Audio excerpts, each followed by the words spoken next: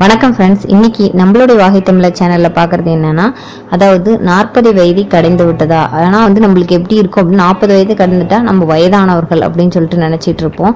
அந்த வயது இருபத்தைந்து வயதிற்கு உரியவர்களுடைய இளமையும் துள்ளுதலும் இருக்கிறதுக்கு என்ன மாதிரி உணவுப் பொருட்களை எடுத்துக்கலாம் அப்படிங்கிறது தான் இன்னைக்கு சேனலில் பார்க்க போகிறோம் வாங்க வீடியோக்குள்ளே போகலாம் வீடியோக்குள்ளே போகிறதுக்கு முன்னாடி இதான் முதல் முறையாக நம்ம வாகை தமிழர் சேனலை பார்க்குறீங்கன்னா மறக்காமல் சேனலை சப்ஸ்கிரைப் பண்ணிக்கங்க. சேனலுக்குள்ளார மருத்துவ குறிப்புகளும் இயற்கை தொடர்பான பாரம்பரியமான உணவு பழக்கவழக்கங்களையும் பதிவேற்ற செஞ்சுட்டு இருக்கோம் நாற்பது வயது பருவம் அடைந்த பெண்களை பொறுத்தவரையில் அந்த வயதில் இருக்கும் பெண்கள் முக்கியமாக இரண்டு குழந்தைகளுக்கு தாயாக இருப்பாங்க. அவங்கள அவங்களுடைய உடலில் வலு குறைந்திருக்கும். முக்கியமாக சொல்ல போனால் அவங்க அந்த காலகட்டத்தில் அவங்களுக்கு கால்சியம் புரத சத்துக்களினுடைய குறைபாடு அதிகமாகவே காணப்படும். இதனால தான் நாற்பது வயது ஆன பெண்கள் சிறிதளவு சோர்வாகவும் கொஞ்சம் உடல் பருமன் பிரச்சனையும் இருக்கிறதுக்கு வாய்ப்புகள் இருக்கு. இது ஏற்படாம இருந்து நம்மளை எப்படி வந்து இளமையா பாதுகாத்து கொள்ளலாம் அப்படிங்கிறதுக்கு என்னென்ன மாதிரியான உணவு பழக்க வழக்கங்களை நம்ம பயன்படுத்தலாம் அப்படிங்கிறத பார்க்கலாம் வாங்க. முதல்ல நம்ம உணவு பழக்க வழக்கங்களில் சில மாற்றங்களை உருவாக்கிக்கணும். முக்கியமாக முப்பது வயதை கடந்துருச்சுனாவே நம்ம பயன்படுத்தக்கூடிய எண்ணெயில் சரிபாதியாக குறைத்து கொள்வது நல்லது. அசைவம் வந்து விரும்பி சாப்பிட்றவங்களா இருந்தாங்கன்னா வாரத்தில் ஒரு முறை அசைவங்களை சாப்பிடுவது மிகவும் சால சிறந்ததுன்னு தான் சொல்லலாம். மதிய உணவில் சாதத்தின் அளவை குறைச்சிட்டு நம்ம காய்கறிகளினுடைய அளவை அதிகமாக சேர்த்துக்கொள்ளலாம். முக்கியமாக சொல்லணும்னா புடலங்காய் பூசணி அவரை முட்டைக்கோஸ் பீன்ஸ் போன்ற சத்தான காய்கறி வகைகளை உடலில் சேர்த்துக்கலாம்.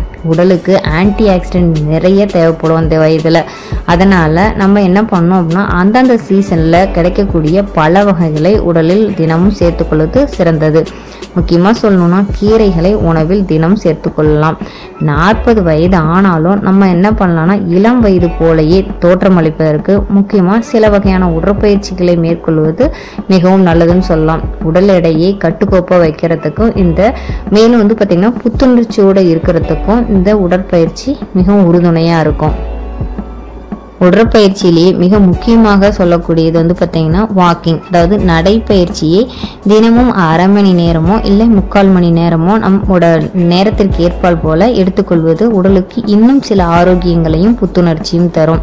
முக்கியமாக பெண்கள் அப்படின்னு சொல்ல போனால் அவங்க வயிற்றுப்பகுதி தோள்பட்டை அதுக்கப்புறம் இடுப்பு பகுதி போன்றவற்றை நல்ல கட்டுக்கோப்பாக வச்சுக்கணும்னா உடற்பயிற்சி கண்டிப்பாக அவசியம். தேவைப்படக்கூடிய ஒன்றுன்னு தான் சொல்லலாம்.